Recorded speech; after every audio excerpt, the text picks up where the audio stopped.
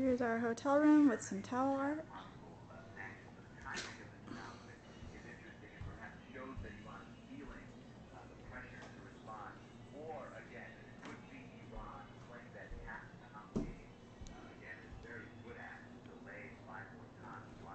Muy bonita.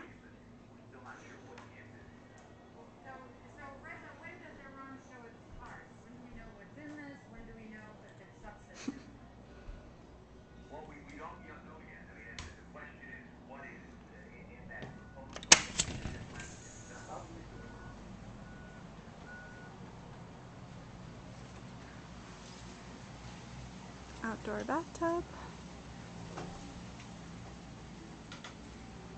And there's where the volcano is, but it's awfully foggy.